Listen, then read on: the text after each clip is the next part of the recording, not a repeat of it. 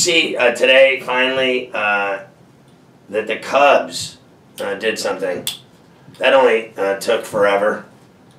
They got Rizzo uh, jacking his 20th, and Bryant hit two of them, 17 and 18. Bryant had a huge day, four of five, three runs, two home runs, three walks, and four RBIs.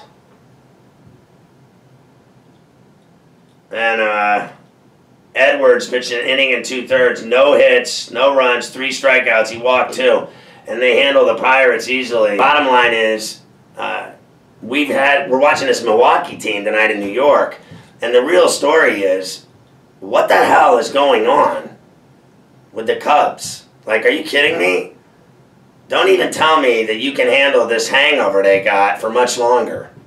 I mean, they drank a whole bottle of whiskey and ate some pills and smoked some reefer or something because they haven't snapped out of it yet since winning the World Series. And you know it, I know it.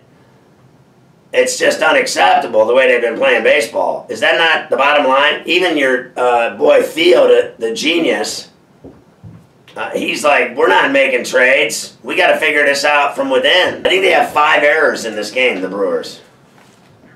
They lead the league in strikeouts, in errors, but they're in first place. And do you know why they're in first place? Because the rest of that division stinks like manure. That's why. Do you know there's no one in that division, unless I'm mistaken, that's over 500? They're, the Cubs are the best feature at 500. No one's over 500 except Milwaukee. That's it. They're they were up four and a half at the start of the day. Four now. If I guess if they lose this game tonight, three and a half. That's easily doable. That is very easy to do. But uh, the Brewers aren't done here. They've won four straight, seven of ten. Paul O'Neill said tonight on this uh, broadcast I was watching him early. He said that uh, they'll basically do it too.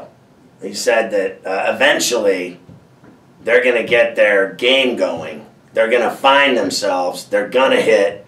They're going to score. They're going to win. He said they're too talented to do this malaise the entire season. And then uh, I know people in Chicago are like, screw Paul O'Neill. What does he have to do with anything? But I think it's just that there's some people, a lot of people that, you know, I'm sitting here watching the Brewers tonight in New York. So a lot of people are talking about how the hell are the Brewers leading the Cubs. So the conversation was that, and O'Neill was like, listen, this team's not going to be 500 for very much longer. They're going to break out. They're going to catch them. They're going to win that division.